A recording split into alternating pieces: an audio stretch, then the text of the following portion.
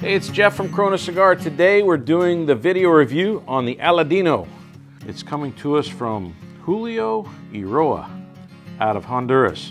Now, one of the things I think is cool about Julio, he's actually one of the Cubans that went to Florida first and worked with the farmers up in North Florida, um, curing tobacco, teaching them how to turn the Florida cigar wrappers into the candela color that the cigar factories needed after the Cuban embargo. Once the Cuban embargo was enacted in 1962, all the factories that were using Cuban leaf didn't have any source for that leaf, so they relied on Florida.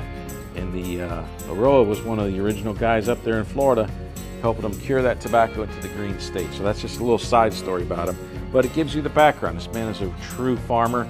He's been growing quality tobacco for 50 years, and uh, I really, really respect him. So the Aladino uses the original Corojo that he grows on his farm there, and in my opinion, he's got the finest Corojo, period, in Honduras.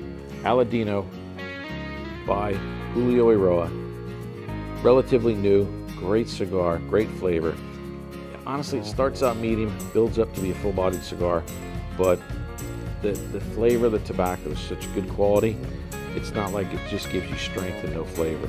It's got a balance of, of flavor.